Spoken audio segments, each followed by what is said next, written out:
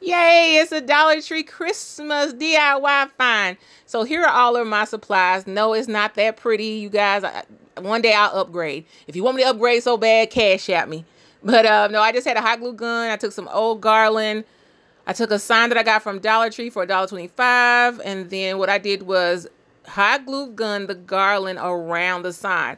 I ended up swapping out the green for some gold that I already had to give it a little pizzazz and a little bling. You can do this with almost anything that you want to, especially if it's Christmas related. So anything that you have on the walls or candy canes, or if you want to make some fake candy canes, take some garland and get a little pizzazz on it.